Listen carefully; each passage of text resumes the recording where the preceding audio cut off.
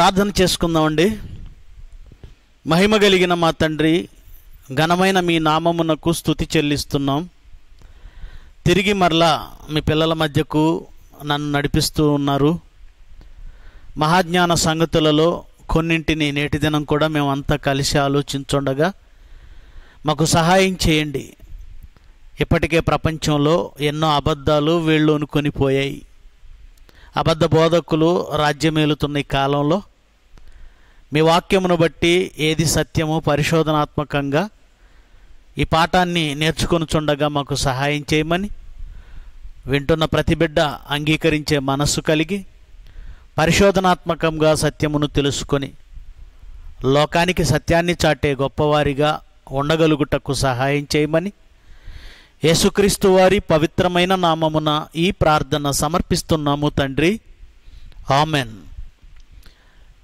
క్రీస్తునందు ప్రేమైన దేవుని పిల్లలారా ఇప్పటికే ఎన్నో వారాలుగా దేవుని వాక్యాన్ని యూట్యూబ్ ఛానల్ ద్వారా మనం వింటున్నాం. తిరిగి ఈ దినము కూడా మీ మధ్యకు రావడానికి ఆ తండ్రి అయిన దేవుడు మహాకృప చూపాడు. ఒక మంచి పాఠాన్ని ఈరోజు మనమంతా కలిసి ఆలోచన చేద్దాం. అది లక్ష నలభై నాలుగు వేల మందికి మాత్రమే పరలోకమా? లక్ష నలభై నాలుగు వేల మందికి మాత్రమే పరలోకమా? ఈ మాట వినడానికి విచిత్రంగా ఉన్న క్రైస్తవ సమాజంలో కొందరు విరివిగా ప్రచారం చేస్తున్న మాట ఇది. వాళ్ళెవరో కాదు యహోవా సాక్షులు అని చెప్పుకొని తిరుగుతున్న ఒక ప్రత్యేకమైన సంఘం వాళ్ళు. అలాగే సెవెంత్ డే అడ్వెంటిస్ట్ చర్చ్ అన్నవాళ్ళు. ఈ రెండు రకాల గ్రూపుల వాళ్ళు క్రైస్తవ్యంలోనికి ప్రవేశించటం అమాయకులైన క్రైస్తవుల యొద్దకు వెళ్ళి వారి బోధలతో కలవరపరచడం అనేది ఈ మధ్యకాలంలో ఎక్కువగా జరుగుతుంది. వాళ్ళు కలవరపరుస్తున్న అనేక అంశాలలో ఒకటి ఈ లక్ష నలభై నాలుగు వేల మంది మాత్రమే పరలోకం వెళతారు. ప్రియులరా మొదటిగా ఆ, వీళ్ళ గురించి మనం కొంత ఆలోచించాలి. ఎందుకంటే వీళ్ళు చెప్పేది సత్యమా అసత్యమా అని బైబిల్లోనికి వెళ్ళి ఆలోచించే ముందుగానే అసలు వీళ్ళు ఎంత యథార్థవంతులు అన్న విషయాన్ని మనం మొదటిగా చూడాలి. వీళ్ళు యథార్థవంతులు కారు సత్యము తెలిసిన వారు కారు అని సింపుల్గా ఒక విషయంలో మనం తేల్చేయచ్చు. అదేమిటి అంటే వీళ్ళు పెట్టుకున్న పేరు సంఘాలకు క్రైస్తవులు రకరకాల పేర్లు పెట్టుకోవడం ఇది మీకు తెలిసిన సంగతే. ఒకరు పెంతుకోస్తని అని పెట్టుకుంటారు ఒకటి బ్యాప్టిస్ట్ సంఘం అంటారు ఒకరు బైబిల్ మిషన్ అంటారు.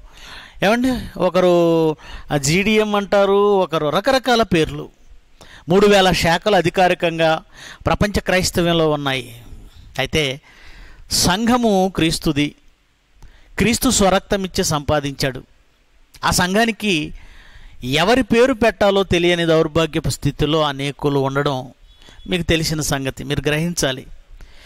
ఇక వీళ్ళు కూడా తమ సంఘానికి లేదా డెనామినేషన్ కావచ్చు లేదంటే సహవాసం కావచ్చు వాళ్ళు పెట్టుకున్న పేరేమిటి అంటే యహోవా సాక్షులు.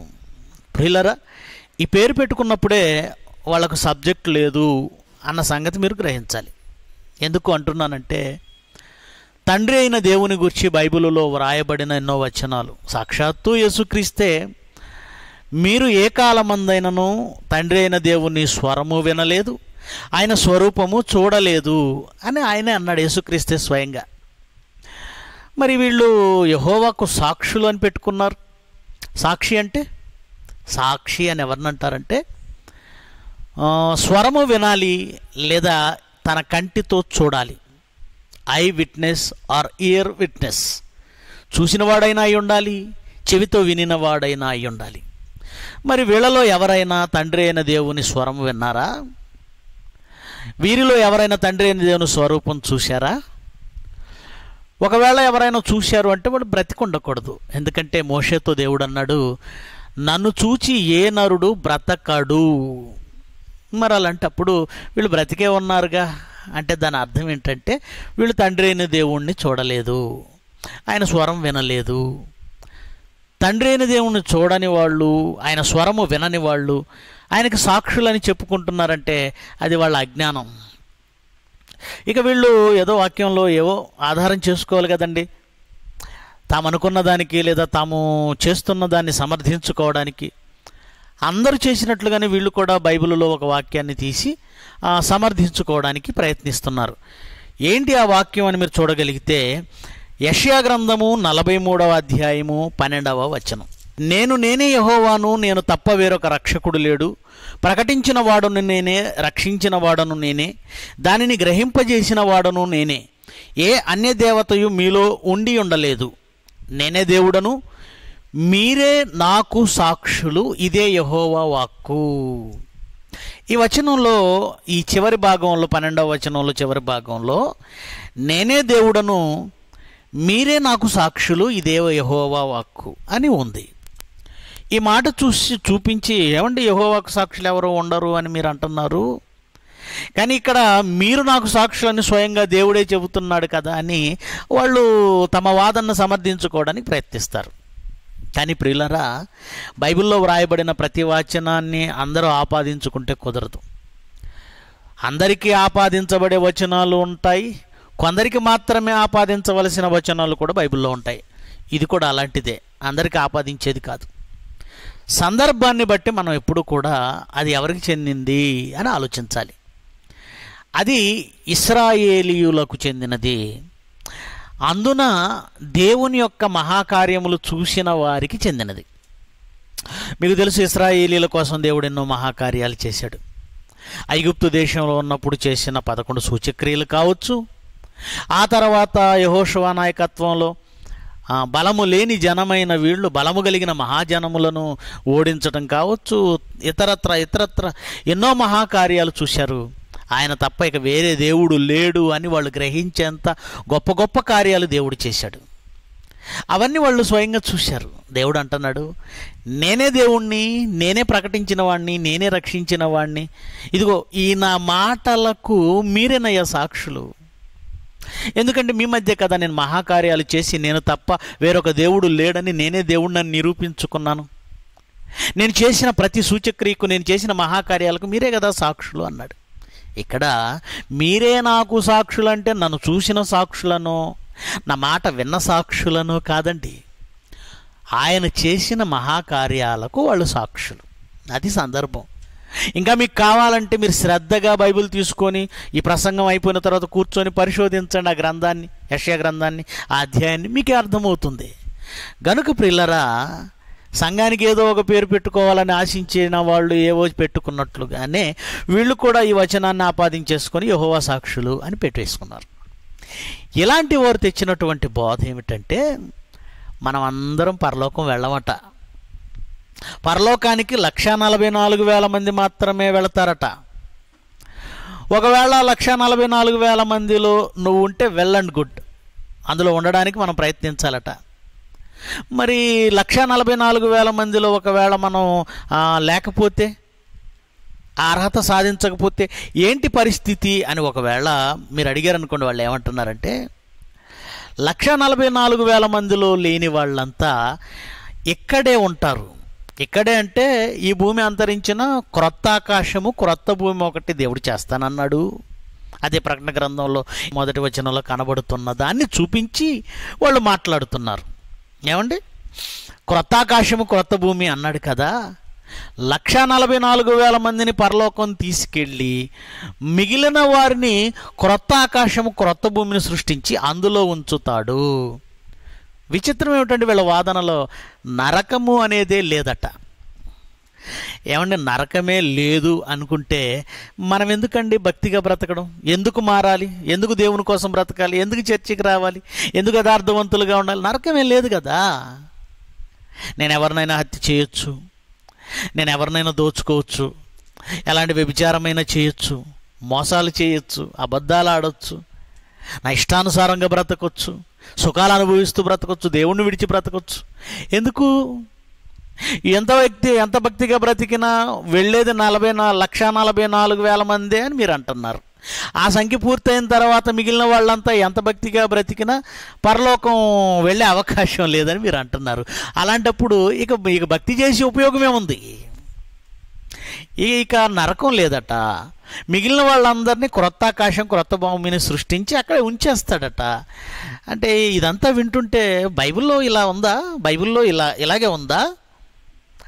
లేదా బైబిల్ చేతబట్టి బైబిల్లో ఉన్నట్లుగా భ్రమింపజేసి వాళ్ళకి నోటికొచ్చినవన్నీ వాళ్ళే మాట్లాడేస్తూ క్రైస్తవ్యాన్ని అనేక మంది విశ్వాసాలని వాళ్ళు భ్రష్టు పట్టిస్తున్నారా?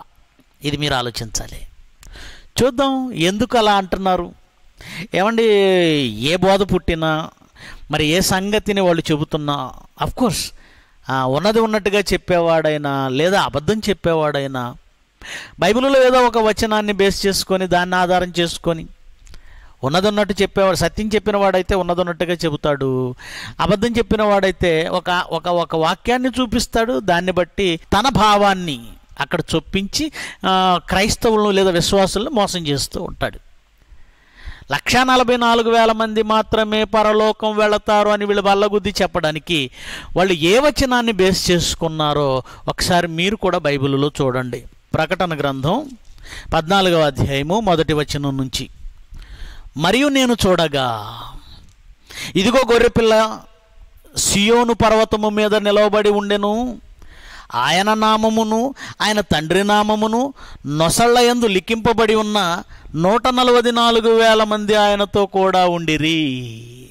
జాగ్రత్తగా వినాల్సమండి యోహాను గారికి దర్శనంలో ఇవన్నీ మీకు కనబడుతున్నాయి. ఇవన్నీ కనబడుతున్నాయి. యోహాను గారికి దర్శనంలో కనబడుతున్నాయి. దర్శన గ్రంథమే కదండి ప్రకటన గ్రంథం అంటే దర్శన గ్రంథం. నేను చూడగా అంటే ఎవరు యోహాను గారు చూస్తున్నారు? నేను చూడగా ఇదిగో ఆ గొర్రె పిల్ల. గొర్రె పిల్ల అనగానే ఎవరిని ఉద్దేశించి మాట్లాడాడు మీ అందరికీ తెలుసు. ఎవరిని ఉద్దేశించి మాట్లాడాడు? యేసుక్రీస్తు. సియోను పర్వతము మీద నిలవబడి ఉండెను. ఆయన నామమును ఆయన తండ్రి నామమును ఆయన అంటే యేసుక్రీస్తు ఆయన తండ్రి నామము అనగానే తండ్రి అయిన దేవుడు యహోవా. నొసళ్ళయందు లిఖింపబడి ఉన్న నూట నలభై నాలుగు వేల మంది ఆయనతో కూడా అంటే యేసుక్రీస్తుతో కూడా. ఆయన ఎక్కడున్నాడు? సియోను పర్వతం మీద ఉన్నాడట. ఈ ఈ నూట నలభై నాలుగు వేల మంది ఎక్కడున్నారట? ఆయనతో కూడా ఉన్నారు. అంటే సియోన్ పర్వతం మీద ఉన్నారు. మరియు విస్తారమైన జలముల ధ్వనితోనూ గొప్ప ఉరుము ధ్వనితోనూ సమానమైన ఒక శబ్దము పరలోకము నుండి రాగా వింటిని. నేను వినిన ఆ శబ్దము వీణులను వాయించుచున్న వైణికుల నాదమును పోలి ఉన్నది. వారు ఎవరు? ఈ లక్ష నలభై నాలుగు వేల మంది. వారు సింహాసనము ఎదుట ఆ నాలుగు జీవుల ఎదుట పెద్దల ఎదుట ఒక క్రొత్త కీర్తన పాడుచున్నారు. ఈ లక్ష నలభై నాలుగు వేల మంది సింహాసనం ఎదుట నాలుగు జీవుల ఎదుట పెద్దల ఎదుట ఒక క్రొత్త కీర్తన పాడుచున్నారు. భూలోకములో నుండి కొనబడిన ఆ నూట నలభై నాలుగు వేల మంది తప్ప మరి ఎవరునూ ఆ కీర్తన నేర్చుకొనజాలరు. సింహాసనం ఎదుట పెద్దల ఎదుట జీవుల ఎదుట ఉన్న ఉన్నవాళ్ళు ఎంతమంది అంటే లక్ష నలువది నాలుగు వేల మంది అని చెప్పాడు. తర్వాత వెంటనే ఏమన్నాడు అంటే భూలోకములో నుండి కొనబడిన నూట నలభై నాలుగు వేల మంది తప్ప మరి ఎవరునూ ఆ కీర్తన నేర్చుకొన జాలరు అన్నాడు. ఇక్కడ ఈ యహోవా సాక్షులు అన్నవాళ్ళు ఈ మాటనే. ఆ లక్ష నలభై నాలుగు వేల మంది తప్ప ఎవరునూ ఆ కీర్తన నేర్చుకొనజాలరు అన్న మాటని స్ట్రెస్ చేసి చెబుతూ వాళ్ళకు మాత్రమే ఆ కీర్తన ఎందుకు రావాలి? వాళ్ళు మాత్రమే పరలోకం వెళతారు గనక వాళ్ళు మాత్రమే సింహాసనం ఎదుటుంటారు గనక వారు మాత్రమే పెద్దల ఎదుట ఉంటారు గనక వారు మాత్రమే నా జీ నాలుగు జీవులు ఎదుట ఉంటారు గనక వాళ్ళకు మాత్రమే ఆ కీర్తన వస్తుంది తప్ప ఇంకెవరు నేర్చుకొనజాలరు అన్నాడు గనక. పరలోకములో సింహాసనం ఎదుటకు వెళ్ళి నిలబడేది లక్ష నలభై నాలుగు వేల మంది మాత్రమే. మిగతా వాళ్ళెవ్వరూ పరలోకం వెళ్ళరు అని తేల్చిపారేశారండి ప్రిలరా ప్రిల్లరా మరి ఇదే రైట్ అయితే ఇదే ఒకవేళ రైట్ అయితే లక్ష నలభై నాలుగు వేల మంది సంఖ్య అయిపోయిన తర్వాత ఎంత నీతిగా బ్రతికినా భక్తిగా బ్రతికిన మిగతా వాళ్ళంతా భూమి మీద బ్రతకవలసిందేనా? కోర్స్ అది క్రొత్త ఆకాశం క్రొత్త భూమి కావచ్చు. కానీ దేవునికి దూరంగా బ్రతుకుతున్నాం కదా. లక్ష నలభై నాలుగు వేల మందినేమో ఆయనతో పాటు పరలోకంలో తన సింహాసనం ఎదుట ఉంచుకొని కొందరిని భూమి మీద వదిలేయడం అనేది ఏమాత్రం బాగుంటుందండి? దేవుడు కొంతమందినేమో తన యొద్దకు తీసుకెళ్ళి కొంతమందిని వదిలేశాడని ఇలా మాట్లాడడం నిజంగండి చాలా బాధాకరం. ఏమండి? మరి ఈ లక్ష నలభై నాలుగు వేల మంది మాత్రమే వెళతారంటున్నారు కదా ఇంతకీ వీళ్ళెవరు? వీళ్ళు ఎవరై ఉంటారు? అని లేఖనాల నుంచి చూద్దాం. ఎందుకంటే ఈ లక్ష నలభై నాలుగు వేల మంది అంటే ఎవరు? అది కూడా క్లారిటీ ఉండాలి కదా. ఎవరు వెళతారు? అందులో మనం ఉంటామా? లేదంటే వేరే వాళ్ళు ఉంటారా? ఇవన్నీ తెలుసుకోవాలి. బైబిల్ చెప్పాలి. లక్ష నలభై నాలుగు వేల మంది అంటే ఎవరో తెలియాలి కదా. వాళ్ళెవరు అన్నది మనం ఆలోచిస్తూ కాస్త పరిశోధన సాగిస్తూ ముందుకు వెళితేనండి ఇదే ప్రకటన గ్రంథములో ఏడవ అధ్యాయంలో మొదటి వచనం నుంచి మనం చదవవలసి ఉంటుంది. ప్రకటన గ్రంథం ఏడవ అధ్యాయము మొదటి వచనం నుంచి. అటు తర్వాత భూమి యొక్క నాలుగు దిక్కులలో నలుగురు దేవదూతలు నిలిచి ఉండి భూమి మీదనైనను సముద్రం మీదనైనను ఏ చెట్టు మీదనైనను గాలి వేచకుండునట్లు భూమి యొక్క నాలుగు దిక్కుల వాయువులను పట్టుకొని ఉండగా చూచి తిని. ఏమండి దేవుడు ప్రకృతిని చేశాడు. ఆ ప్రకృతిలో దేవదూతలు ఉన్నాయి ప్రకృతి దేవదూతలు ఆ ప్రకృతి పైన అధికారాలు పొందిన దేవదూతలు కూడా ఉన్నాయి. మీ అందరికీ తెలుసు. అయితే నాలుగు దిక్కుల్లో నలుగురు దేవదూతలు నిలిచి ఉన్నట్లుగా యోహాను గారు ఇక్కడ చూస్తున్నారు. భూమి మీదనైనను సముద్రం మీదనైనను ఏ చెట్టు మీదనైనను గాలి వేచకున్నట్లు భూమి యొక్క నాలుగు దిక్కుల వాయువులను పట్టుకొని ఉండగా చూచి తిని ఆ వాయువులను పట్టుకొని ఉన్నారు.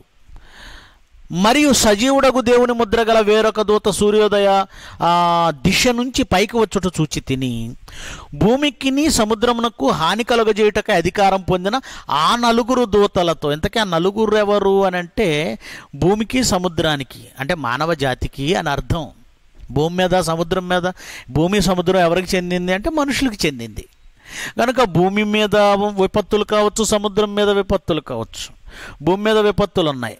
భూకంపం లాంటివి సముద్రం మీద విపత్తులు ఉన్నాయి సునామీ లాంటివి. ఏ వీటిలో ఏవి సంభవించినా నాశనమయ్యేది నాశనం ఎవడు అంటే మనిషే. కనుక మనిషి పాపమును బట్టి మనిషికి అనగా భూమి సముద్రమునకు విపత్తులు ఉపద్రవాలు కలిగించే అధికారం ఒక నలుగురు దేవదూతలు దేవదూతలకు దేవుడిచ్చినట్లు ఆ నలుగురు దేవదూతలు నాలుగు దిక్కులలో నిలబడినట్లు నాశనము జరిగించడానికి సిద్ధంగా ఉన్నట్లు మనకు కనబడుతూ ఉంది. అయితే సూర్యోదయ దిశ నుంచి ఒక వేరొక దూత పైకొచ్చాడట. పైకొచ్చి ఈ నలుగురు దూతలతో మాట్లాడుతున్నాడు మూడవ వచనం. ఆ దూత మేము మా దేవుని దాసులను వారి నొసళ్ళ యందు ముద్రించు వరకు భూమికైనను సముద్రముకైనను చెట్లకైనను హాని చేయవద్దని బిగ్గరగా చెప్పాను. హాని చేసే అధికారం పొందిన నలుగురు దేవదూతలతో ఈ దేవదూత అంటున్నాడు ఈ దూత అంటున్నాడు మేము మా దా మా దేవుని దాసులు. మా దేవుని దాసులు అంటే దేవుని కొరకు బ్రతికేవారు దేవుని పని చేసేవారు దేవునికి నమ్మకమైన దాసులు. ఎవరున్నారో ఎంతమంది ఉన్నారో వారిని మేము ముద్రించాలి. వారి నొసళ్ళ యందు ముద్రించు వరకు. ఏమండి? ఒక కంపెనీ వస్తువు తయారు చేస్తే దాని ముద్ర వేస్తుంది సీల్. ఇది మాది. గవర్నమెంట్ ఒక లెటర్ ఇచ్చిందనుకోండి జీవో పాస్ చేసింది అనుకోండి ఆ లెటర్ మీద సీల్ ఉండాలి గవర్నమెంట్ సీల్ ముద్ర ఉండాలి. లేకపోతే అది చెల్లదు. ఒక కోర్టు ఆర్డర్ ఇచ్చిందంటే కోర్టు సీల్ ఉండాలి. ముద్ర అంటారు. అంటే ఇది పలానా వారికి చెందినది. గవర్నమెంట్కి చెందిందా? ప్రైవేట్ వారికి చెందిందా? కోర్టుకు చెందిందా? యాజమాన్యానికి చెందిందా? స్కూల్కి చెందిందా? కాలేజీకి చెందిందా? వారికి చెందినవి అధికార పత్రాలు కావచ్చు వస్తువులు కావచ్చు. ముద్ర వేసుకుంటారన్నది నిజమైతే దేవుడు కూడా వీరు నావారు అని తన దాసులకు ముద్ర వేయమని పంపించాడట. నాయన ఇదిగో నువ్వు వెళ్ళు. నా దాసులకు నుదుటి మీద ముద్ర వేయి అని ఒక దేవదూతను పంపించాడు. మరియు నాలుగవ వచనం ముద్రింపబడిన వారి లెక్క చెప్పగా వింటిని. అంటే హాని చేయకుండా ఆగి ముద్రించేంత వరకు ఉండి ఇంతకీ ముద్రించిన వారి లెక్క ఎంత వచ్చింది అంటే దేవుని దాసుల లెక్క ఎంత వచ్చింది అంటే ముద్రింపబడిన వారి లెక్క చెప్పగా వింటిని. ఇస్రాయిలీల గోత్రములన్నింటిలో ముద్రింపబడిన వారు లక్ష నలువది నాలుగు వేల మంది. అంటే ఇంతకీ ఈ లక్ష నలువది నాలుగు వేల మంది లెక్క ఎక్కడిదన్నమాట? ఇస్రాయేలీల గోత్రములన్నింటిలో ముద్రింపబడిన వారు అన్నాడు. ఇస్రాయేలీయులు పన్నెండు గోత్రాల వాళ్ళు. పన్నెండు గోత్రాల వారు కూడా మరి యాకోబు సంతతి నుంచి యాకోబు నుంచి వచ్చిన వాళ్ళు.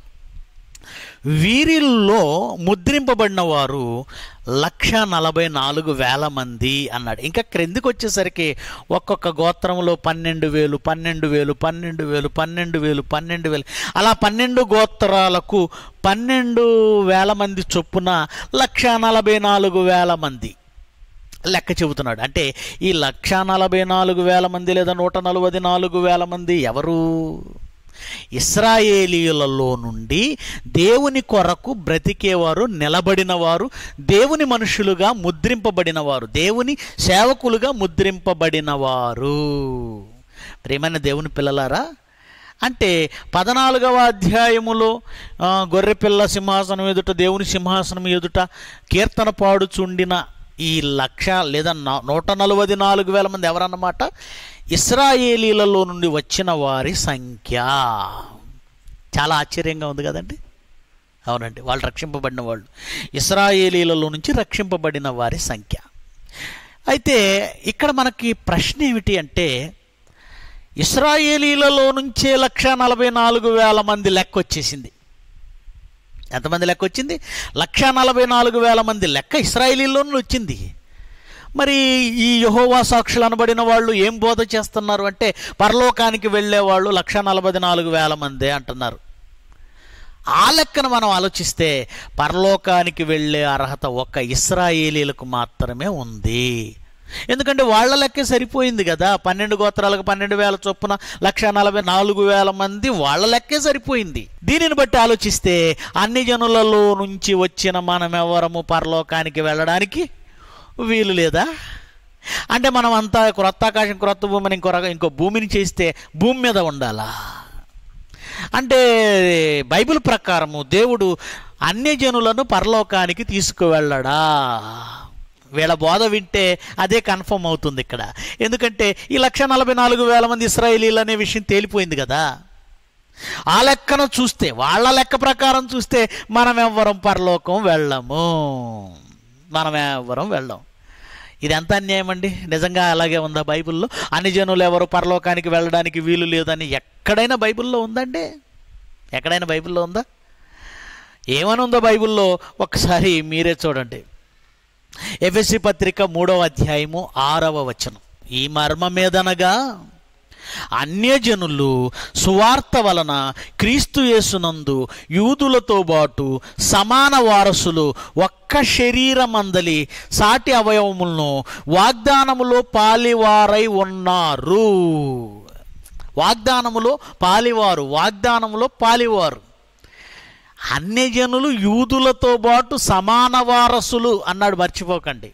సమాన వారసులు అంటే యూదులు ఏ లోకాన్ని పొందారో అన్ని జనులు కూడా ఆ లోకాన్ని పొందాలి. అనగా యూదులలో నుంచి ఎవరైతే క్రైస్తవులుగా మారి వాళ్ళు పరలోకాన్ని పొందుతున్నారో అన్ని జనులలో నుండి క్రైస్తవులు అయిన వారు కూడా అదే లోకాన్ని పొందాలి. ఇస్రాయేలీలు పన్నెండు గోత్రాల్లో నుంచి వచ్చిన లక్ష నలభై నాలుగు వేల మందికి పరలోకం ఇచ్చి అనిజనులందరినీ భూమి మీద ఉంచితే మనం సమాన వారసులం అని ఎలాగండి చెబుతాడు దేవుడు? దేవుడు చెప్పింది అబద్ధం కాదా? ఒక తండ్రి తన పిల్లలిద్దరూ నాకు రెండు కళ్ళు అండి అంటాడు. నా పిల్లలిద్దరూ నాకు రెండు కళ్ళు. వాళ్ళిద్దరూ నా వారసులు నా దృష్టిలో వాళ్ళిద్దరూ సమానమే అని చెప్పి ఒక కొడుకు ఆస్తి ఇచ్చేసి ఇంకో కొడుకు ఆస్తి లేకుండా చేశాడు అనుకోండి ఇద్దరిని సమానంగా చూసినట్లా ఇద్దరు సమానమా? సమానంగా చూశాడా? లేదు ప్రియమైన వర్లారా. పరలోకం అనే మహా వాగ్దానం. దేవుడు వాగ్దానం చేసింది పరలోకాన్నండి ఎందుకంటే వాగ్దానానికి సమాన వారసులు అన్ని జనులు కూడా యూదులతో పాటు వాగ్దానమునకు సమాన వారసులు అన్నాడు. ఇంతకీ ఆయన మనకు చేసిన వాగ్దానం ఏంటో చూడగలిగితే మొదటి యోహాను రెండవ అధ్యాయము. ఇరవై ఐదవ వచనం. నిత్య జీవము అనుగ్రహింతును అనునది ఏ తానే మనకు చేసిన వాగ్దానం. నిత్య జీవం ప్రిలరా నిత్య జీవము పరలోకమే తప్ప భూమి ఆకాశాలు కాదండి నిత్య జీవము అంటే పరలోకం. అంటే మనమంతా పరలోక వారసులమని యూదులతో పాటు సమానమని అది ఒక మర్మమని అప్పటి వరకు లోకానికి తెలియని ఒక రహస్యమని అది దేవదర్శనము వలన పౌలు గారు నాకు బయలుపరచబడింది అంటున్నాడు. పౌలు అంటున్నాడు అది నాకు బయలుపరచబడింది. అదేమిటంటే నాయన క్రీస్తునందు యూదుడు లేదు అని లేడు గ్రీస్ దేశస్తుడు లేదు స్త్రీ లేదు పురుషుడు లేదు. ప్రతి ఒక్కరు యూదులతో పాటు సమాన వారసులు అన్నాడు. ప్రిల్లరా దీన్ని బట్టి మనం ఆలోచిస్తే అన్ని జనులకు కూడా పరలోకముంది అని స్పష్టమవుతుంది. మరొక వచనాన్ని కూడా మీకు చూపిస్తాను. మొదటి తెశలోనిక నాలుగవ అధ్యాయము పదిహేడవ వచనం. తెశలోనికలో అంటే ఆ పట్టణం అన్ని జనుల పట్టణం అన్న సంగతి మొదటిగా మీరు గుర్తించాలి. వాళ్ళంతా అన్యులు గుర్తించాలి. వాళ్ళకు పత్రిక రాస్తూ ఏమంటున్నాడు పదిహేడవ వచనం చూడండి. ఆ మీదట సజీవులమై నిలిచియుండు మనము వారితో కూడా ఏకముగా ప్రభువును ఎదుర్కొనుటకు ఆకాశ మండలమును ఆకాశ మండలమునకు మేఘముల మీద కొనిపోబడుదుము. కాగా మనము సదాకాలము ప్రభువుతో కూడా ఉందుము. అన్ని జనులను ఉద్దేశించి పౌలంటున్న మాట మనము సదాకాలము ప్రభువుతో ఉండాలి. ప్రభు ఎక్కడున్నాడు? పరలోకంలో. ప్రభు పరలోకంలో ఉన్నప్పుడు మనము సదాకాలము ప్రభువుతో ఉండాలన్న ఈ మాట దేనిని సూచిస్తుంది చెప్పండి? ప్రభు ఎక్కడున్నాడో మనం అక్కడే ఉంటాం. ప్రభు పరలోకంలో ఉంటే అన్ని జనులమైన మనము కూడా పరలోకంలోనే ఉంటామని వాక్యం చెబుతుంటే ఏమండి లక్ష నలభై నాలుగు వేల మంది మాత్రమే పరలోకం వెళతారండి? మిగిలిన వాళ్ళు వెళ్ళరండి అని వీళ్ళు చెబుతున్న ఈ దుష్ట బోధ ఏంటి చెప్పండి? అబద్ధ బోధ అనమాట బైబిల్ చూస్తుంటే అన్ని జనులు కూడా పరలోకానికి వెళతారని అన్ని జనులు కూడా యూదులతో సమాన వారసులండి. వాళ్ళు ప్రభుతోనే ఉంటారని స్పష్టంగా చెబుతుంది. ప్రియమైన వార్లరా ఇలాంటి వాక్యాలు ఎన్నో ఉన్నాయి. మీకు మచ్చుకు రెండు చూపించాను అంతే. మరి ప్రకటన గ్రంథంలో అలా ఎందుకు ఉందండి లక్షా నలభై నాలుగు వేల మందిని ఎందుకు ఉందండి అంటారా? ప్రిలరా వాస్తవానికండి ప్రకటన గ్రంథము పద్నాలుగవ అధ్యాయములో ఈ లక్ష నలభై నాలుగు వేల మంది మాత్రమే పరలోకం వెళతారని లేదండి. అక్కడ ఏముంది చూడండి మీరే జాగ్రత్తగా చూడండి. ఏముందో మీరే జాగ్రత్తగా చూడండి. వారు సింహాసనము ఎదుట పద్నాలుగో అధ్యాయం ప్రకటన గ్రంథం పద్నాలుగో అధ్యాయం మూడో వచనం చదువుతున్నాను. వారు సింహాసనం ఎదుటను ఆ నాలుగు జీవుల ఎదుటను పెద్దల ఎదుటను ఒక క్రొత్త కీర్తన పాడుచున్నారు. భూలోకములో నుండి కొనబడిన ఆ నూట నలభై నాలుగు వేల మంది తప్ప మరి ఎవరును ఆ కీర్తన నేర్చుకొనజాలరు. ఇదిగోండి ఈ వచనాన్నండి వాళ్ళు అపార్థం చేసుకొని వక్రీకరించి బోధిస్తున్నారు. వీళ్ళెవరు అని క్రిందికి చదివితేనండి భూలోకములో నుండి కొనబడిన నూట నలభై నాలుగు వేల మంది. భూలోకం నుంచి కొనబడ్డారు. కొనబడ్డారు అంటే ఎలాగా? ఎలా కొనబడ్డారు? అపోస్తుల కార్యాలు ఇరవయవ అధ్యాయము ఇరవై ఎనిమిదవ వచనం. దేవుడు తన స్వరక్తమిచ్చి సంపాదించిన సంఘము మీరు విలువ పెట్టి కొనబడిన వారు. ఏ విలువ? దేవుడు తన స్వరక్తమును విలువను పెట్టి కొన్నాడు. అంటే యేసుక్రీస్తు రక్తములో కడగబడిన వారు వీళ్ళు. వీళ్ళెవరంటే ఇస్రాయేలీలు అనుకున్నాం మనం. అంటే ఇస్రాయేలీలలో నుండి యేసు రక్తము చేత కడగబడిన వాళ్ళే ఈ లక్ష నలభై నాలుగు వేల మంది. వీరు తప్ప మరి ఎవరును ఆ కీర్తన నేర్చుకొనజాలరు? ఇంతకీ కీర్తన అంటే పాట పాడుతున్నారని మీరు అనుకోకండి. కొత్త కీర్తన అంటే క్రొత్త నిబంధనను సూచిస్తుంది. ఒకనాటి పాత నిబంధన ఆరాధన వారి కీర్తనలు వాళ్ళ ప్రా వాళ్ళ ప్రార్థనలు వాళ్ళ ఆరాధనలు వేరు. క్రొత్త నిబంధనకు వచ్చేసరికి ఆరాధన క్రమం మారింది పాటలు మారాయి ప్రార్థనలు మారాయి. ఎందుకంటే మధ్యవర్తి అని క్రీస్తు వచ్చాడు. క్రొత్త కీర్తన క్రొత్త సందేశం. క్రొత్త నిబంధన. అంటే ఈ లక్ష నలభై నాలుగు వేల మంది ఎవరు అంటే ఇస్రాయేలీలలో నుండి యేసురక్తం చేత కడగబడిన వాళ్ళు. వీరు నేర్చుకున్నారట. కానీ మరి ఎవరును దానిని నేర్చుకొనజాలరు అంటే ఇక్కడ అపార్థం చేసుకున్నారండి. సత్యవాక్యమును సరిగా విభజించువానిగా ఉండమని పౌలు గారు తిమోతికి వ్రాసిన మాటను వీళ్ళు పట్టించుకోలేదు. మరి ఎవరునూ నేర్చుకొనజాలరు అంటే అక్కడ ఇస్రాయేలీలను ఉద్దేశించి మాట్లాడుతున్నాడు. ఏమండి? లక్ష నలభై నాలుగు వేల మంది ఏంటి? ఇస్రాయేలీలు ఎవరో తెలుసా? ఎంతమంది ఉన్నారో తెలుసా? ఐగుప్తు దేశాన్ని విడిచి పాలస్తీనా దేశంలోకి ప్రవేశించినప్పుడు ఆరు లక్షల మంది కాల్బలం మాత్రమే. ఆరు లక్షల మంది. అక్కడ నుండి ఎంత విస్తారమైన సంఖ్య ఇస్రాయేలీలు పెరిగిపోయారో మీకు తెలుసు. ఆరు లక్షలే ఉన్నారనుకోకండి.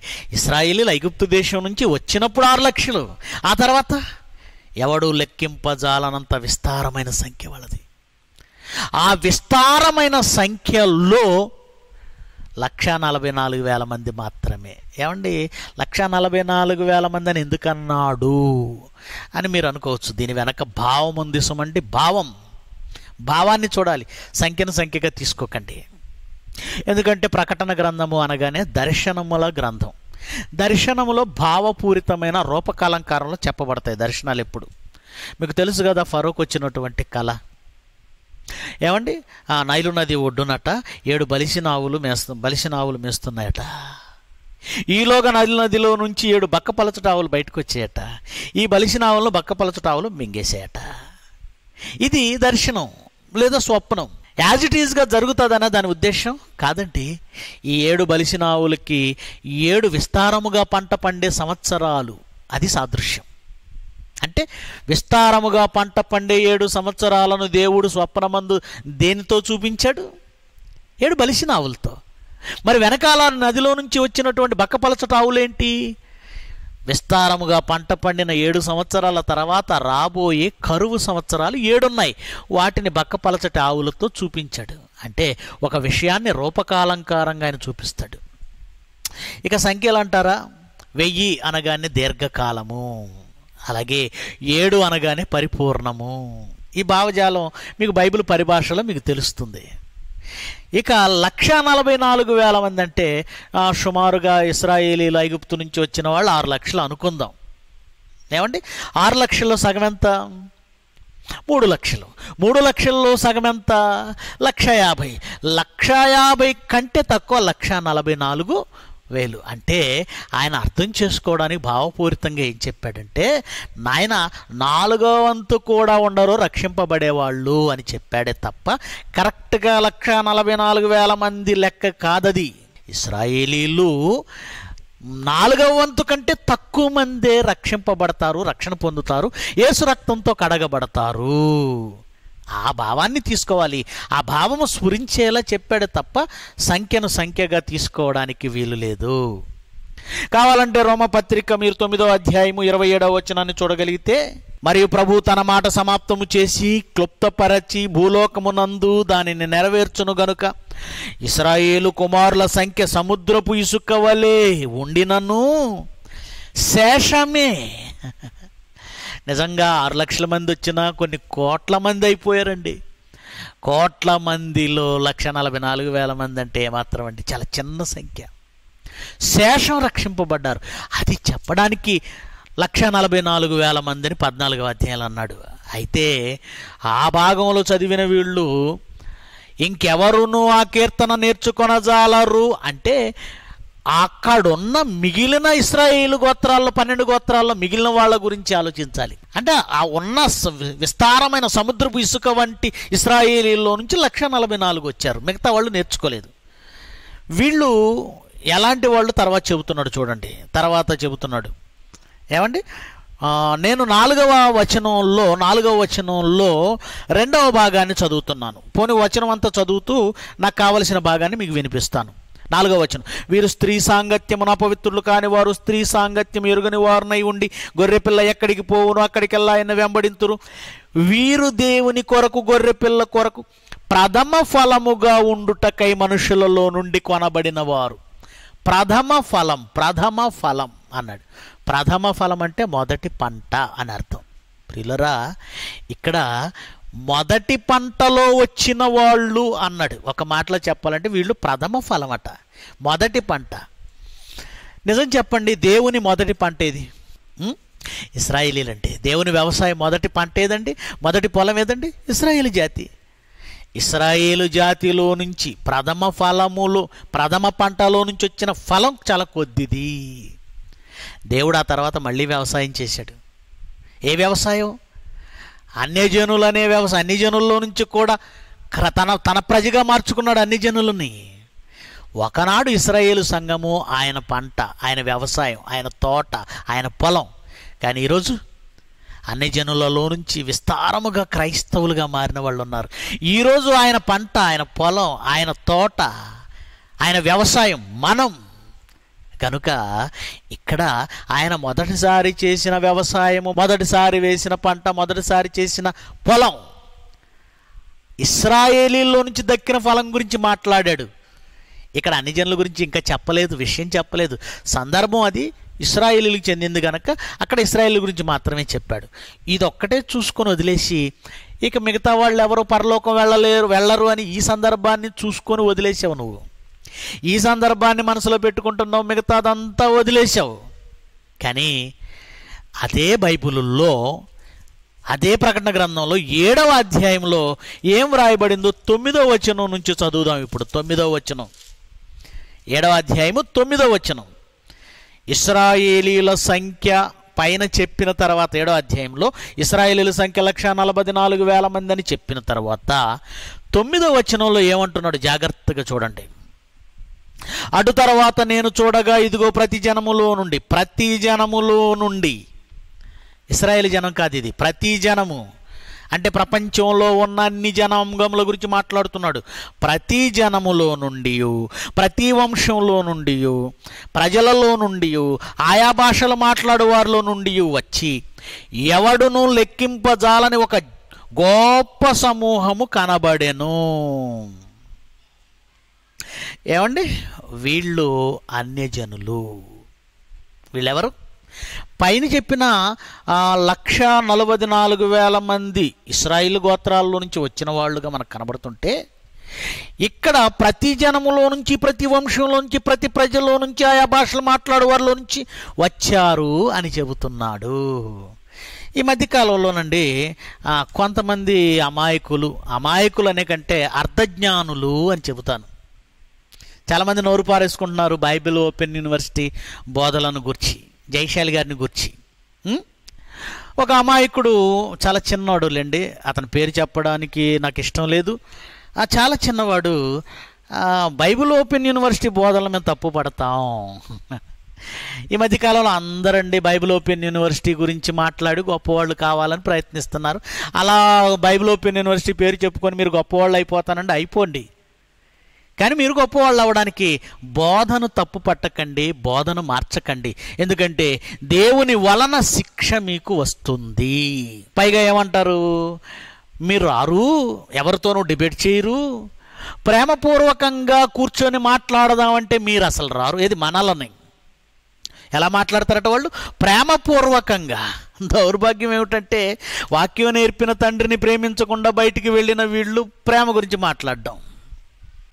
దెయ్యాలు వేదాలు వల్లించినట్టు ఒరే దౌర్భాగ్యులారా మీ తండ్రి వాక్యం నేర్పిన తండ్రిని దూషిస్తూ బయటికి వెళ్ళిన మీరు మళ్ళీ ప్రేమ గురించి మాట్లాడతారేంట్రా? వద్దు మీ వాక్యం ఏదో మీరు చెప్పుకోండి చావండి నరకానికి వెళ్ళండి. ప్రేమపూర్వకంగా కూర్చొని మాట్లాడతారట. ఎంతమందిని మోసం చేస్తారు ఈ మాయ మాటలు చెప్పి? ఆ ప్రేమే మీలో ఉంటే మీకు వాక్యం నేర్పిన తండ్రి పాదాల దగ్గరికి రండి. కలిసి ఉండండి. ఆ ప్రేమ లేక కదా వెళ్ళిపోయారు. ఇప్పుడు మరలా ప్రేమ ఉంటే ప్రేమపూర్వకంగా మాట్లాడదాం. ఏ విధంగా మాట్లాడాలన్నా మీ తర్వాతేరా. ఏ విధంగా అయినా మాట్లాడతారు. వద్దు. నటనొద్దు. యథార్థ హృదయం కావాలి. యథార్థంగా ఉండండి. ఒక చాలా చిన్నవాడు అంటున్నాడు. ఉపేంద్ర అన్నయ్య తప్పు చెప్పేశాడు. ఉపేంద్ర అన్నయ్య ప్రసంగంలో తప్పు చెప్పేశాడు. ఈ ప్రకటన గ్రంథంలో ఏడవ అధ్యాయంలో తొమ్మిదవ వచనంలో చెప్పబడినది ఇస్రాయేలీల గురించే అంటున్నాడు. ఏమండి? ఇక్కడ ఏముందో చూడండి తొమ్మిదవ వచనంలో. అటు తర్వాత నేను చూడగా ఇదిగో ప్రతి జనములో నుండి ప్రతి వంశములో నుండి ప్రజలలో నుండి ఆయా భాషలు మాట్లాడు వారిలో నుండి వచ్చి ఎవడునూ లెక్కింపజాలని ఒక గొప్ప జన సమూహము కనబడెను. వారు తెల్లని వస్త్రములు ధరించుకున్న వారై ఖర్జూరపు మట్టలు చేతబట్టుకొని సింహాసనం ఎదుట గొర్రెపిల్ల ఎదుట నిలవబడి సింహాసనాసీయుడైన మా దేవునికి గొర్రెపిల్లకు మా రక్షణకై స్తోత్రమని మహాశబ్దంతో ఎలుగెత్తి చెప్పిరి. దేవదూతలందరినూ సింహాసనం చుట్టూ పెద్దల చుట్టూ నాలుగు జీవుల చుట్టూ నిలవబడి ఉండిరి.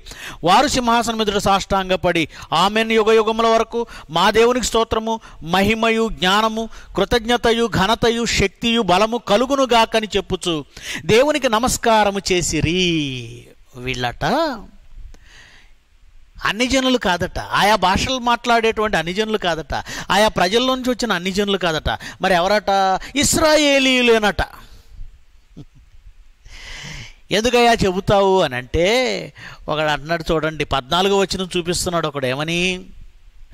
అయ్యా నీకే తెలియననగా అతడు నాతో ఇలాగ చెప్పాను వీరు మహాశ్రమలలో నుండి వచ్చిన వారు మహాశ్రమల్లో నుంచి వచ్చిన వారు అంటే ఆయా ప్రజల్లో నుంచి ఆయా భాషల్లో నుంచి ఆయా జనముల్లో నుంచి ప్రతి ప్రజలో నుంచి ఎవడునూ లెక్కింపజాలనంతగా వచ్చిన వాళ్ళు ఎవరు అని అంటే మహాశ్రమలలో నుండి వచ్చిన వాళ్ళు అంటున్నారు.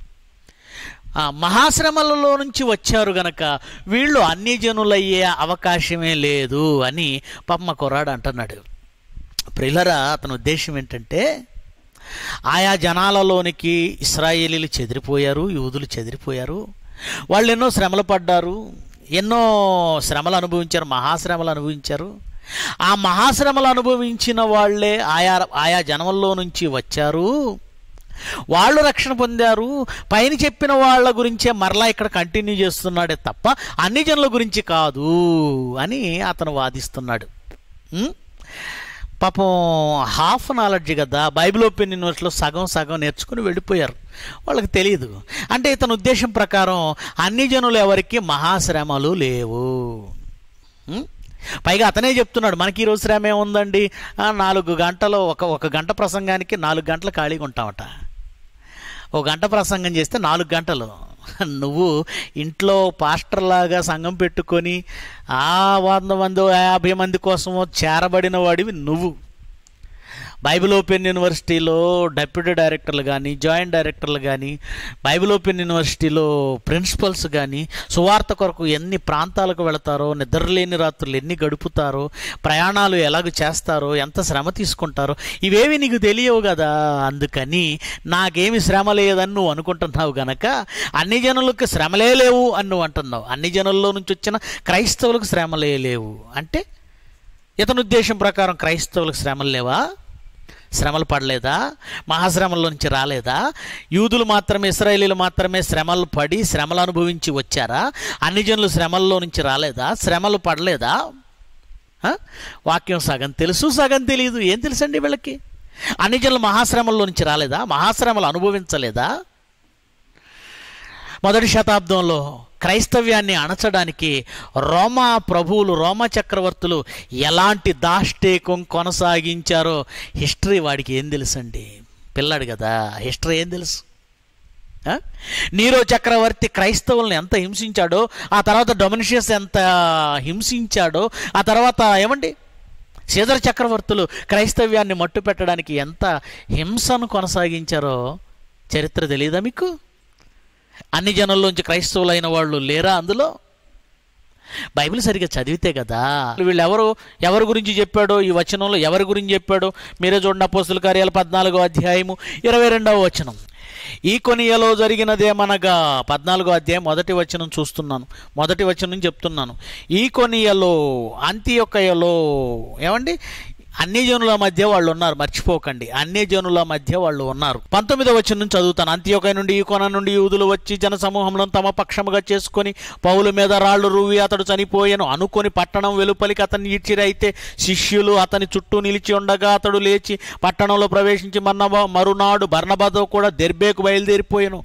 వారు ఆ పట్టణంలో సువార్త ప్రకటించి అనేకులను శిష్యులుగా చేసిన తర్వాత లుస్త్రకును ఈకొనియకును అంత్యకు తిరిగి వచ్చి శిష్యుల మన మనస్సులను దృఢపరచి విశ్వాసమందు నిలకడగా ఉండవలెననియు అనేక శ్రమలను అనుభవించి మనము దేవుని రాజ్యములో ప్రవేశించవలెననియు వారిని హెచ్చరించిరి. అన్ని జనులలో నుంచి క్రైస్తవులైన వారిని ఉద్దేశించి అపోస్తులైన పౌలు అంటున్నాడు మనము అనేక శ్రమలు అనుభవించి దేవుని రాజ్యంలో ప్రవేశించాలి. అదేంటి? మరి నాన్న నువ్వు బైబిల్ బాగా చదువుకోవాలి. అన్ని జనులకు శ్రమ లేదు అన్ని జనులకు శ్రమల్లో లేరు అన్ని జనులలో నుండి క్రైస్తవులైన వారి గురించి. నువ్వు చెప్పిన దాన్ని బట్టి యూదులే తప్ప క్రైస్తవులకు శ్రమలే లేవని నువ్వు మాట్లాడుతున్నావు. మహాశ్రమంలో మహాశ్రమల్లో నుంచి వచ్చిన వారు యూదులు మాత్రమేనా? ఇస్రాయేలీలు మాత్రమేనా? క్రైస్తవులు కాదా? అన్ని జనుల్లో నుంచి వచ్చిన క్రైస్తవులు కాదా? మరొక వచనం నేర్చుకోనన్న రాసుకో. మరొక వచనం చెబుతున్నాను. ఏమండి? మొదటి తెస్సలోనిక మొదటి అధ్యాయము ఆరో వచనం చదువుతాను. పరిశుద్ధాత్మ వలన కలుగు ఆనందముతో గొప్ప ఉపద్రవమందు మీరు వాక్యం అంగీకరించి తెసలోనికలకు రాసిన పత్రిక తెసలోనిక పట్టణం అన్యజనుల పట్టణం. తెలుసు కదా నీకు ఇది? ఈ పట్టణంలో ఉన్న వాళ్ళు అన్ని జనులు తెలుసు కదా నీకు? వాళ్ళు ఎలాంటి పరిస్థితుల్లో వాక్యం అంగీకరించారట? గొప్ప ఉపద్రవమందు మీరు వాక్యం అంగీకరించిరి అంటే మహాశ్రమలలో వాళ్ళు వాక్యం అంగీకరించారండి. ఇక రెండవ అధ్యాయం పద్నాలుగవ వచనం చూడగలిగితే రెండవ అధ్యాయము పద్నాలుగవ వచనం. చూడండి. మీరు యోదయలో క్రీస్తు యేసునందున్న దేవుని సంగములను పోలి నడుచుకొనిన వారైతిరి వారు యూదుల వలన అనుభవించినట్టి శ్రమలే. మీరు మీ సొంత దేశస్థుల వలన అనుభవించిరి. యూదులు వారి సొంత దేశస్థుల వలన ఎలాంటి శ్రమలు అనుభవించారో ఈ తెశలోనికి పట్టణంలో ఉన్న క్రైస్తవులు అన్ని జనులైన వారు కూడా అలాంటి శ్రమలే. అంటే మీరు క్లియర్గా అర్థం చేసుకోవలసింది ఏమిటంటే మహాశ్రమలలో నుంచి వచ్చిన వారు అనగానే యూదులు ఇస్రాయలీలే కాదు అన్ని జనులు కూడా మహాశ్రమలలో నుంచి వచ్చిన వారే. చరిత్ర తెలియదండి ఇప్పటికీ క్రైస్తవులకు ఎన్ని శ్రమలు కలుగుతున్నాయి? కనీసం కరెంట్ నాలెడ్జ్. కరెంట్ నాలెడ్జ్ కూడా లేదు ఇతనికి కరెంట్ అఫైర్స్ కూడా తెలియదు ఒక ఐగుప్తులో ఒక ఈజిప్ట్లో కావచ్చు ఒక సిరియాలో కావచ్చు ఒక ఇరాక్లో కావచ్చు ఒక చైనాలో కావచ్చు ఒక ఇండియాలో కావచ్చు ఈరోజు క్రైస్తవ్యానికి ఎన్ని మహాశ్రమలను ఎన్ని మహాశ్రమలు ఎదురవుతున్నాయి? క్రైస్తవులు ఎన్ని మహాశ్రమలు ఎదుర్కొంటున్నారు? వీళ్ళు మహాశ్రమల నుంచి రావట్లేదా? నీకు బాగా సుఖం వచ్చింది. నువ్వు బాగా అలవాటు పడిపోయావు. తిని మంచం మీద పడుకోవడానికి నీకు శ్రమ లేదు. క్రైస్తవులు ఎవరికి శ్రమలు లేవా? ఎంతోమంది దేవుని కోసం ఎన్నో శ్రమలు అనుభవిస్తున్నారు. బైబిల్ ఓపెన్ యూనివర్సిటీని తప్పు పట్టాలన్న ఒక తప్పుడు బు- ఉద్దేశంతో ఎందుకయ్యా దేవుని కోపాగ్నికి మీరు బలైపోతారు? ఎందుకు దేవుని కోపాగ్ని బలైపోతారు? ఒక వ్యక్తి మీద ఈర్ష్య ద్వేషం పగ వాక్యం దగ్గరికి తీసుకురాకండి. వాక్యం దగ్గరికి తీసుకురాకండి. పైగా ప్రతి జనములో నుంచి ఆయా వంశంలో నుంచి ఆయా భాషలు మాట్లాడు వారిలో నుంచి వచ్చిన వాళ్ళు అంటే ఇస్రాయలీలేనట అయితే నేను ఒక ప్రశ్న అడుగుతాను దానికి సమాధానం చెప్పాలి. చూడొకసారి ప్రకటన గ్రంథం ఐదో అధ్యాయము పదో వచనం. ఆ పెద్దలు నీవు ఆ గ్రంథమును తీసుకొని దాని ముద్రలను విప్పుటకు యోగ్యుడవు.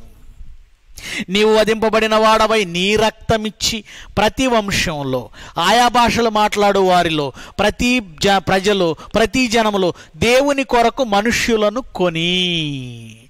వీళ్ళెవరు చెప్పు తమ్ముడు నువ్వే చెప్పు. వీళ్ళు కూడా ఇస్రాయలీలేనా? యూదులేనా? ప్రకటన గ్రంథంలో ఏడో అధ్యాయంలో తొమ్మిదో వచనంలో ఉన్న వాళ్ళు యూదులు ఇస్రాయిలీలు మాత్రమే అన్నావు. మరి వీళ్ళెవరు? ఇక్కడ మాత్రం అనిజనులు అంటావా? లేదంటే వీళ్ళు కూడా యూదులే అంటావా? నీ లెక్క ప్రకారం వీళ్ళు కూడా యూదులే. అనిజనులు కాదు. అలాంటప్పుడు యేసుక్రీస్తు వచ్చింది ఎవరి కోసం ఇస్రాయేల్ కోసమే. అదిగో మత ఛందస్వాదులు అంటున్నది నువ్వు కన్ఫర్మ్ చేస్తున్నావు కదా. నాకు తెలిసి మీకు కూడా ఆ యహోవ సాక్షులు కాటుపడి ఉంటుంది. మీకు కూడా సెవెంత్ డే అడ్వెంటిస్ట్ యహో సాక్షుల కాటుపడి ఉంటుంది. ఇస్రాయేలీలు మాత్రమేనా పరలోకం వెళ్ళేది? అన్ని జనుల్లో నుంచి వచ్చారయ్యా? ఆ అన్ని జనులను కూడా తన స్వరక్తం ఇచ్చి కొన్నాడయ్యా? ప్రతి వంశము ప్రతి ప్రజ ప్రతి జాతి ప్రతి భాష మాట్లాడువారు. వివిధమైన భాషలు మాట్లాడేవారంటే అన్ని జనులలో నుంచి క్రైస్తవులైన వారు. ప్రకటన గ్రంథము పద్నాలుగో అధ్యాయము మొదటి నుంచి ఐదు వచనాల సారము మీరు చూస్తే ఆ సందర్భంలో మాట్లాడుతున్నది ఇస్రాయేలీల గురించే కానీ ఆ సందర్భంలో మాట్లాడుతుంది ఇస్రాయేలీల గురించే కానీ ఆ తర్వాత అన్యజనుల ప్రవేశం జరగడం ఆ అన్యజనులు కూడా మహాశ్రల శ్రమలు అనుభవించే దేవుని రాజ్యంలో ప్రవేశించటం వారికి కూడా పరలోకం ఉండడం ఇవన్నీ స్పష్టంగా బైబిల్లో ఉన్నాయి. ఓకేనా? కనుక అనవసరంగా బైబిల్ ఓపెన్ యూనివర్సిటీ బోధల మీద నోరు పారేసుకోకండి. మేము ఈ మధ్యకాలంలో ఇలాగా జైశాలి గారి గురించి కానీ మా గురించి కానీ బోధ గురించి కానీ మాట్లాడుతున్న వాళ్ళని పట్టించుకోవడం మానేసామండి ఎందుకు అని అంటారేమో మీరు? ప్రయోజనం లేదండి. ఎందుకంటే ఒక మంచి వాక్యాన్ని చెబితే అంగీకరించే మనసు వాళ్ళకే లేదండి. కనుక వెనక ఏనుగు వెళుతుంటే వెనక కుక్కలు మురుగుతాయని వదిలేసామండి మంచి మనసట కూర్చొని మాట్లాడాలట. ఏం మాట్లాడాలయ్యా నీతో? ఏం మాట్లాడాలి? ఒకటి చెప్తున్నాడులేండి మొన్న ఒకటి చెప్తున్నాడు. ఇస్రాయేలీలు దేవుని శత్రువులు కాదు క్రైస్తవులకు శత్రువులు కాదు జయశాలి పీడి సుందరరావు గారు చెప్పింది తప్పు. తండ్రులు ద్రాక్షకాయలు తింటే పిల్లల పళ్ళు పులియవు అని ఏమండి ఏ సందర్భంలో దేవుడు మాట్లాడాడో ఎవరితో మాట్లాడాడో అది ఎప్పుడు అప్లై అవుతుందో ఇవేం తెలియదండి half knowledge Bible open university నుంచి అర్ధాంతరంగా నిష్క్రమించిన ప్రతి ఒక్కడు హాఫ్ నాలెడ్జ్తో బయటికి వెళ్తాడు హాఫ్ నాలెడ్జ్తో బయటకు వెళ్ళి ఏం మాట్లాడుతున్నాడంటే ఎప్పుడో యూదులు యేసుక్రీస్తుని సిలువేస్తే వారి మీదకి ఇప్పటికీ శిక్ష రావడం ఏంటి? అదే అరకొర జ్ఞానంతో అర్ధ జ్ఞానంతో హాఫ్ నాలెడ్జ్తో మాట్లాడకూడదు అంటున్నాను. ఎక్కువ మాట్లాడనండి దీని గురించి సబ్జెక్ట్ ఎక్కువ మాట్లాడను. వాడి జ్ఞా వాడి కనీసపు వివేచన ఆలోచన ఉన్నవాడైతే ఒక్క వచనం చెప్తాను. మరి దాన్ని ఆలోచించుకోమను వీటితో నేను మాట్లాడను. వారితో కూర్చుని డిబేటు చేయను. వేస్ట్. వినరు వీళ్ళు. మార్పు లేదు వాళ్ళకి.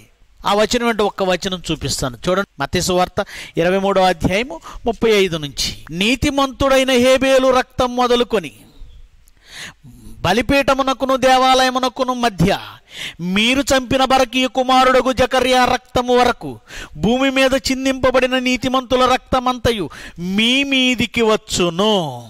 తండ్రులుగా ద్రాక్షకాయలు తింటే పిల్లల పళ్ళు పూలేవని ఎక్కడ వాక్యమో? ఏ సందర్భంలో వాక్యం దీన్ని కనెక్ట్ చేస్తున్నావు? యూదులు ఎప్పుడో సిలువేశారు వాళ్ళెవరో సిలువేస్తే ఇప్పటికీ వాళ్ళ మీద శాపం ఉంటుందా అని యూదుల పక్షాన నువ్వు వస్తున్నట్లున్నావు. ఇక్కడ నాకు నువ్వు సమాధానం చెప్పాలి. హేబేలును చంపిన వాళ్ళు ఎవరైనా యేసుక్రీస్తు దగ్గర ఆ రోజు ఉన్నారా? హేబేలు చచ్చిపోయి అన్నాళ్ళు అవుతుంది? యేసుక్రీస్తు మాట్లాడే కాలానికి ఆ తరానికి హేబేలు ఎప్పుడు చనిపోయాడు? చంపింది ఎవరు కయ్యను కయ్యను చంపితే నీతిమంతుడైన హేబేలు రక్తం ఆ తరం మీదకి ఎందుకు వస్తుందో నువ్వు చెప్పురా. ఆ తరం మీదకి ఎందుకు వస్తుంది? జకర్యా. ఏ జకర్యాను బలిపీఠమునకు దేవాలయం మధ్య చంపినప్పుడు వీళ్ళు ఎవరైనా ఉన్నారా? యేసుక్రీస్తు మాట్లాడేటప్పుడు ఎవరైతే ఉన్నారో వాళ్ళు ఉన్నారా? మరి వాళ్ళ మీదకి అతని రక్తం రావడం ఏంటి? పైగా హేబేలు మొదలుకొని బరకీ కుమారుడైన జకర్యా రక్తము వరకు నీతిమంతుల రక్తమంతా మీ మీదకి వస్తుంది అన్నాడు. అంటే ఎప్పుడో ఎవరో చని చంపేసిన నీతిమంతుల రక్తం వీళ్ళ మీదకి రప్పిస్తున్నాడా? రప్పించటం లేదా? నువ్వే చెప్పు. ఇదొక్కటి ఆలోచించి సమాధానం చెప్పరా నీ బతుక్కి చాలు. జయశాలి గారి గురించి మాట్లాడకు. నువ్వెంత వాగినా నేను మేము నీకు సమాధానం చెప్పం. దేవుని పిల్లలకు వాక్యం చెబుతాం. నువ్వు వినే మనసు నీకు పోయింది. వినే మనసు నీకు పోయింది. ప్రేమైన దేవుని పిల్లలారా అలాగో ఎవడో పిల్లాడు వాగుతున్నాడులేండి. ఆ, ఉపేంద్ర అని తప్పు చెప్పాడు. డాడీ తప్పు చెప్పాడు. కొన్ని ప్రసంగాలు తప్పులు ఉన్నాయి మీరంత గొప్పవాళ్ళు కాదు. కనుక ప్రియమైన దేవుని పిల్లలారా ఎవరు ఈ లక్ష నలభై నాలుగు వేల మంది అంటే ఇస్రాయేలీలలో నుండి క్రీస్తు రక్తం చేత కడగబడిన వాళ్ళు. వారు సముద్రపు ఇసుక వలె విస్తారంగా ఉన్నను కొందరే రక్షింపబడతారన్న మాట ప్రకారము కొన్ని కోట్ల మందిలో నుంచి లక్షా నలభై నాలుగు వేల మంది అంటే చిన్న సంఖ్య అని చెబుతున్నాడు. అన్ని జనులలో నుంచి కూడా క్రీస్తు రక్తం చేత కడగబడి వచ్చిన వాళ్ళు ఉన్నారు. ఇకపోతే మరొక విషయాన్ని కూడా ఇక్కడ మీకు వివరించవలసి ఉంది. ఎందుకంటే ఈ యెహోవా సాక్షులు అనబడిన వాళ్ళు ఏమంటే పరలోకం వెళ్ళాలంటే ఎలా ఉండాలో క్లియర్గా రాశాడండి నాలుగో వచనం. ప్రకటన పద్నాలుగు నాలుగులో వీరు స్త్రీ సాంగత్యమున అపవిత్రులు కానివారు. వీరు స్త్రీ సాంగత్యమున అపవిత్రులు కానివారు. ఈ లక్ష నలభై నాలుగు వేల మంది ఎందుకు వెళతారంటే చాలా పవిత్రంగా ఉన్న వాళ్ళు మాత్రమే అక్కడికి వెళ్ళాలి. మనం అందులో ఉండడానికి ట్రై చేయండి మీరు కూడా. అందులో చోటు సంపాదించుకోండి. ఒకవేళ చోటు సంపాదించుకోలేకపోతే భూమి మీద ఉండిపోతామని చెప్తున్నారు. దానికి క్వాలిఫికేషన్ ఏంటి అంటే స్త్రీ సాంగత్యం మీకు ఉండకూడదు ఉంటే అపవిత్రం. అంటే స్త్రీని ముట్టకూడదట. అందుకని వీళ్ళు ఏం చేస్తున్నారంటే పెళ్ళిళ్ళు చేసుకోకండి. పెళ్ళి చేసుకుంటే అపవిత్రం అయిపోతారు స్త్రీ సాంగత్యం ఉంటే అపవిత్రం అయిపోతారు అని బోధ చేస్తున్నారు. వీళ్ళ మాటలు విని చాలామంది పెళ్ళిళ్ళు నిషేధించి తిరిగిన వాళ్ళు కూడా ఉన్నారు. ఇప్పటికీ పెళ్ళిళ్ళు నిషేధిస్తున్న వాళ్ళు కూడా ఉన్నారు. ప్రిలరా స్త్రీ సాంగత్యం అంటే ఒక స్త్రీని వివాహం చేసుకోవడం ఆమెతో సాంగత్యం చేయటం ఒక పురుషుడికి అపవిత్రమైన కార్యమా? ఒక స్త్రీని వివాహం చేసుకోవడం ఆమెతో సాంగత్యం చేయటం ఆమెతో కాపురం చేయటం ఒక పురుషుడికి అపవిత్రమైన కార్యమైతే ఆ అపవిత్రమైన కార్యమును చేయించిన వాడు దేవుడే అవుతాడు.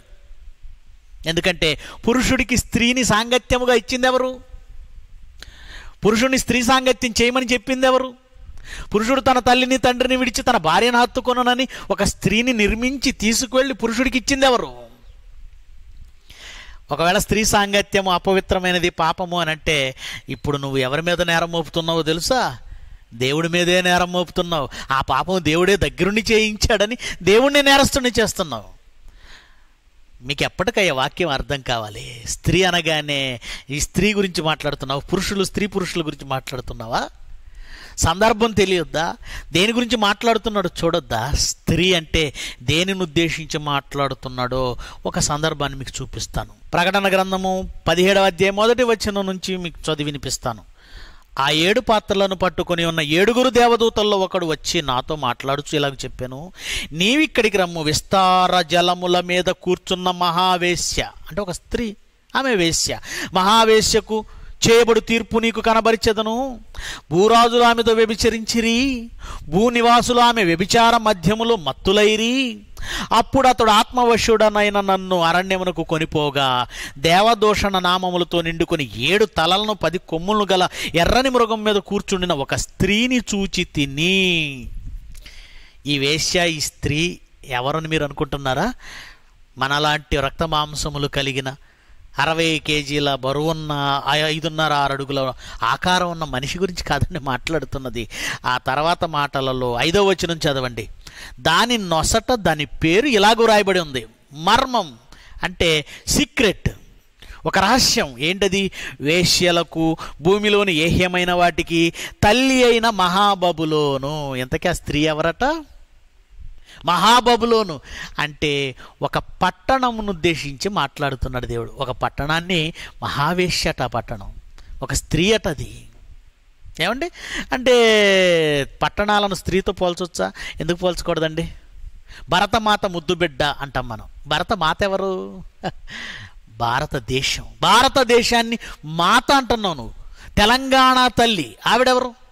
సిరిసిల్లలో ఉంటుందా? హైదరాబాద్లో ఉంటుందా? తెలంగాణ తల్లి అంటే రాష్ట్రం ప్రజలు. అర్థమైందా? గనుక స్త్రీ అనగానే లోకాన్ని దేవుడు స్త్రీతో పోలుస్తున్నాడు. ఇంకా చెప్పాలంటే మహావేశ్యైన స్త్రీతో పోలుస్తున్నాడు. కనుక వ్యభిచారుణులారా ఈ లోక స్నేహము దేవునితో వైరమని మీరు ఎరుగరా? యాకో పత్రికలో నాలుగో అధ్యాయంలో ఉన్న మాట అండి అది. కావాలంటే చూడండి ఒకసారి. యాకో పత్రిక నాలుగవ అధ్యాయము నాలుగవ వచనం నాలుగో అధ్యాయం నాలుగో వచనం. వ్యభిచారుణులారా ఈ లోక స్నేహము దీనిలోనే సాంగత్యం అని పెట్టుకోండి. స్నేహం అన్న పదం దగ్గర ఏం పెట్టుకోవాలి? సాంగత్యం. ఈ లోక సాంగత్యము దేవునితో అంటే దేవుని దృష్టిలో లోక సాంగత్యం ఒక వ్యభిచారంతో సమానం. గనుక స్త్రీ సాంగత్యమున అపవిత్రము కాని వారు అనగానే స్త్రీలను పెళ్ళి చేసుకోని వారు అనుకోకండి. స్త్రీ సాంగత్యమున అపవిత్రము కాని వారు అనగానే పెళ్ళిళ్ళు కాని వారు అనుకోకండి. లోకము అనేది ఒక స్త్రీ ఒక వేష్య అయితే ఆ వేష్యతో సాంగత్యము చేయని వాడు స్త్రీ సాంగత్యమున అపవిత్రము కానివాడు. లోకమును స్నేహించని వాడు స్త్రీ సాంగత్యమున అపవిత్రము కానివాడు అని చెబుతున్నాడు. కనుక ప్రియులరా లక్షా నలభై నాలుగు వేల మంది పరలోకం వెళ్ళిపోతారని రాయబడలేదు అక్కడ.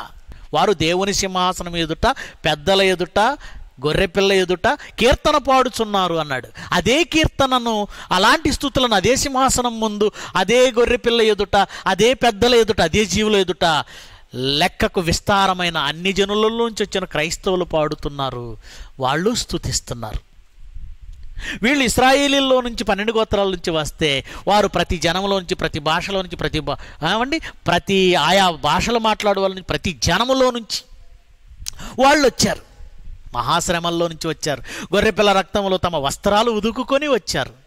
కనుక పరలోకం వెళ్ళేది లక్ష నలభై నాలుగు వేల మందే అనకండి. ఎవరు క్రీస్తు వలన క్రీస్తు రక్తం వలన కడగబడి క్రీస్తు చేత కొనబడ్డారో వాళ్ళు వెళతారు. సంఖ్య ఇదేం చెప్పకండి. వాళ్ళు పరలోకం వెళతారు. గనుక ప్రియులరా చాలామందికి ఇది అర్థం కాక వాళ్ళు మాత్రమే వెళతారు మిగతా వాళ్ళంతా భూమి మీద ఉండిపోతారని ఒక తప్పుడు బోధ చేస్తున్నారు. ఏమంటే యేసుక్రీస్తు రెండవ రాకడలో ఆయన వచ్చినప్పుడు ఈ భూమి ఉండదు ఆ ఆకాశము ఉండదు. ఇది ఉండదండి నిజమేనండి పోతుందండి దాని తర్వాత క్రొత్త ఆకాశం క్రొత్త భూమి ఇస్తాడండి అనుకుంటున్నారా? అసలు క్రొత్త ఆకాశము క్రొత్త భూమి అంటే అర్థం ఏంటో తెలుసా నీకు? ఆకాశము భూమి అంటే సృష్టి అని అర్థం. ఐదవ అధ్యాయం వచ్చిన చూడు. రెండవ కొరింది ఐదవ అధ్యాయము పదిహేడవ వచ్చిన చదవండి. కాగా ఎవడైనను క్రీస్తునందున్న ఎడలవాడు నూతన సృష్టి. నూతన సృష్టి అంటే క్రొత్త ఆకాశం క్రొత్త భూమి. అది సంఘం. క్రొత్త ఆకాశము క్రొత్త భూమిని చూచి తిని అని యోహాను సువార్త యోహాను ప్రకటన గ్రంథములో ఉన్న మాట సంఘమును ఉద్దేశించి. ఎందుకంటే సంఘం అనేది క్రొత్త ఆకాశం క్రొత్త భూమి క్రొత్త సృష్టి క్రొత్త ప్రపంచం. ఇది తెలియని మూర్ఖులైన వాళ్ళు ఏవో వాక్యాలను చూపించేసి ఈ భూమిని తీసేసిన క్రొత్త ఆకాశం క్రొత్త భూమి ఉంటుందట నరకం ఉండదట లక్ష నలభై నాలుగు వేల మంది మాత్రమే పరలోకం వెళతారట. ఇలాంటి దౌర్భాగ్యపు బోధలు ఖండించటం చేతగాని కొంతమంది ఏమండి మన వెనక బైబిల్ ఓపెన్ యూనివర్సిటీ వెనకాల ఉండి వాళ్ళకి అర్థం కాని సంగతులన్నిటినీ తప్పులని భావించి ఏదో మనల్ని తప్పుగా చూపించి వీళ్ళేదో గొప్పవాళ్ళుగా పబ్బం గడుపుకోవడానికి వీళ్ళు గోతికాడ గుంట దగ్గర నక్కల్లాగా గుంట నక్కల్లాగా ఎదురు చూస్తున్నారు. కనుక చూపించాను కదా మీరు బాగా వాక్యం చదవండి బాగా ఆలోచించండి. ఈ లక్ష నలభై నాలుగు వేల మంది ఎవరో తెలుసా? దేవుని కొరకు బ్రతికిన వారు ఇస్రాయిలీలోంచి వచ్చిన వాళ్ళు మాత్రమే. మిగిలిన వాళ్ళు దేవుని కొరకు ఎవరు బ్రతుకుతారో ప్రతి జనములో నుంచి వాళ్ళు పరలోకం వెళతారు. కాగా మనం సదాకాలము ప్రభువుతో కూడా ఉంటాము. ప్రార్థన చేసుకుందాం. మహోన్నతుడవగు మా తండ్రి. మీ కుమారుడు జయశాలి గారు ఉన్న తరములో మమ్మను పుట్టించి ఈ మహాజ్ఞానమునకు మమ్మను వారసులను చేసినందుకై మిమ్మల్ని స్తుతిస్తూ గనపరుస్తున్నాం తండ్రి మీ కుమారుని త్యాగము లోకములో అనేకులను తన రక్తము చేత ఆయన కొన్నాడు. లేఖనాలలో వ్రాయబడిన జ్ఞానమును అర్థం చేసుకొనని కొందరు. కేవలం లక్ష నలభై నాలుగు వేల మంది మాత్రమే పరలోకంలో ఉంటారు. అని తప్పుడు బోధలు చేస్తున్నారు. అదే నిజమైతే ఆ లక్ష నలభై నాలుగు వేల మంది ఇస్రాయలీలు మాత్రమే అవుతారు. మిగిలిన అన్ని జనులంతా భూమి మీద ఉండిపోవలసి వస్తుంది. ఇది మీ ప్రణాళికకే విరుద్ధం. మీరిచ్చిన మాటకే విరుద్ధం. మీ క్రియలకే అది అవమానం. అలాగూ బోధ తెలియక మీ మీ సంకల్పాన్ని అవమానపరుస్తున్న దుష్ట బోధల నుంచి సంఘాన్ని మళ్ళించే అవకాశం ఈ రాత్రి వేళ నాకు ఇచ్చారు తండ్రి వింటున్న ప్రతి బిడ్డ మనోనేత్రం వెలిగించండి. పరిశోధనాత్మకమైన దృష్టితో వాక్యమును విశ్లేషించి అంగీకరించే మనసు మీ పిల్లలకి ఇవ్వండి. మీ కుమారుడు జయశాలి గారికి మంచి ఆరోగ్యం ఆయుష్నివ్వండి కరోనా వలన దేశ విదేశాలలో ఉన్న మీ సంఘము దేవుని పిల్లలు వారిని కాపాడండి చల్లగా. తండ్రి ఎవరైనా ఒకవేళ కరోనా బారిన పడితే మీ పిల్లలు వారిని కాపాడండి. మా చిత్తం కాదు కానీ నాయన మీ చిత్తాన్ని లోకమును లోకమందు జరిగించండి. యేసుక్రీస్తు వారి శ్రేష్టమైన నామమున ఈ ప్రార్థన సమర్పిస్తున్నాము తండ్రి. ఆమెన్.